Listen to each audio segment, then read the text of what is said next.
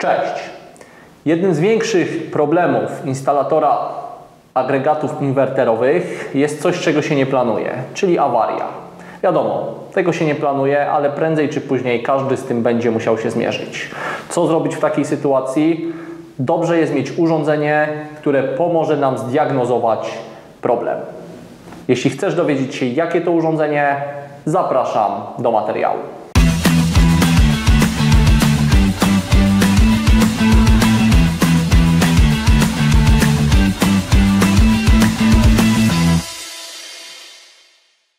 Po raz kolejny mamy zaszczyt gościć Michała Wilczka, Cześć Bartek.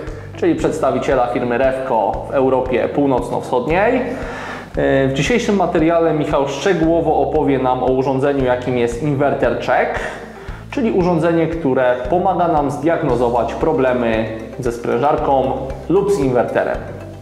Słuchamy. Czy inwerter check jest prostym urządzeniem diagnostycznym e, pozwalającym na e, zweryfikowanie poprawności pracy e, elektroniki w agregacie zewnętrznym, czy w tak zwanym inwerterze, czy też po polsku falowniku. Mm, Jeśli w- wyniku mm, podłączenia urządzenia widzimy prawidłową pracę e, inwertera, wtedy przyczyn awarii powinniśmy szukać po stronie sprężarki. Jeśli coś wskazuje na e, awarię e, inwertera, zaczynamy od wymiany płyty e, głównej sprężarki. Czyli mówiąc krótko, jakby urządzenie pomoże nam zdiagnozować, czy problem leży po stronie inwertera, czy po stronie sprężarki. Przede wszystkim ogranicza nam loterię e, i nie, nie postawi nas w sytuacji e, niewygodnej, kiedy po wymianie jednego z elementów okaże się, że źle e, strzelaliśmy i musimy wymienić kolejny element. Rozumiem. Powiedz mi, jak to urządzenie działa? Co trzeba podpiąć? Co wchodzi w skład tego zestawu? I Z jednej strony podpinamy się z urządzeniem e, do płyty w miejsce podłączenia e, sprężarki i sprawdzamy poprawność pracy na wszystkich trzech uzwojeniach. Przypadku prawidłowej pracy e, płyty głównej wszystkie sześć diod powinno nam się e, palić w odpowiedniej e, synchronizacji. Jeśli brakuje, jeśli któraś z nich jest nieaktywna, wtedy inw- płyta inwerterowa jest uszkodzona i od niej zaczynamy wymianę czy też naprawę. hmm?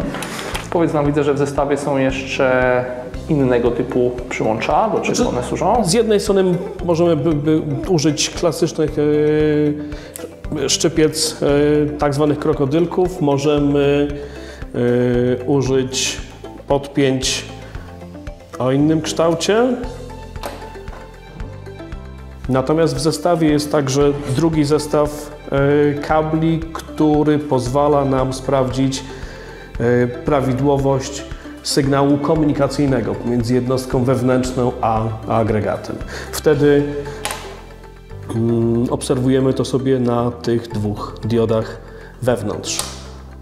Powiedz mi, czy klient y, do tego zestawu, mimo że mamy tutaj angielską nazwę, y, instrukcję oczywiście dostanie w języku polskim. Instrukcja jest dostępna po polsku w PDF-ie y, i to, co też warto, na co warto zwrócić uwagę, to jest urządzenie dość uniwersalne, to znaczy jest kompatybilne z każdym tak naprawdę rodzajem, y, z, z, z każdą marką klimatyzatora. Czyli tutaj, jeśli klient ma agregat tego producenta czy innego, nie ma to żadnego znaczenia. Nie ma to znaczenia. Z każdym z tych urządzeń ten, ten zestaw będzie, będzie kompatybilny. Dokładnie.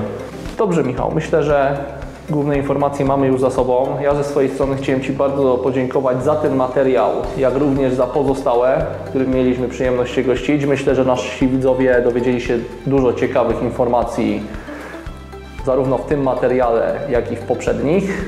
Także mam nadzieję, że jeszcze kiedyś się zobaczymy. Wielkie dzięki za zaproszenie.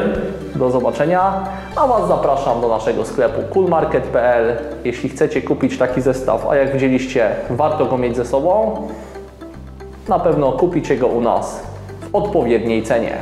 Do zobaczenia.